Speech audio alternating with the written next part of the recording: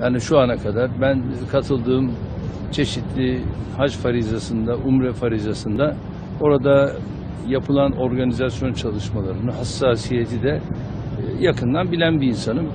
Dolayısıyla burada e, kalkıp da e, bu organizasyon yanlıştı, şöyleydi, böyleydi deme yerinde değilim.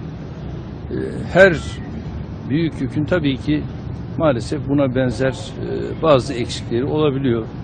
E, Ben inanıyorum ki Suudi Arabistan yönetimi inşaat olayından sonra nasıl çok daha farklı, kararlı bir çalışım için, çalışma için kararlar aldıysa bununla ilgili de yine e, bazı kararları alacaktır.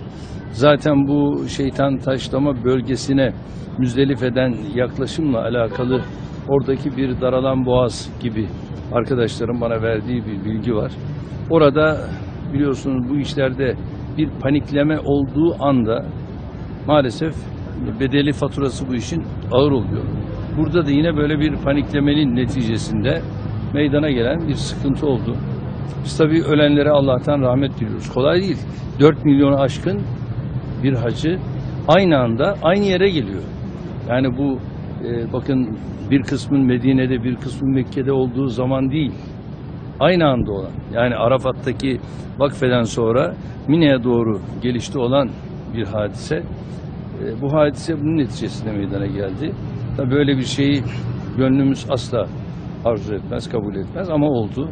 Biz Allah'tan rahmet diliyoruz hepsine. Ee, Rabbim tekrarından bizleri korusun diyoruz. Tabii tedbirler inanıyorum ki çok daha bundan sonra farklı olacaktır.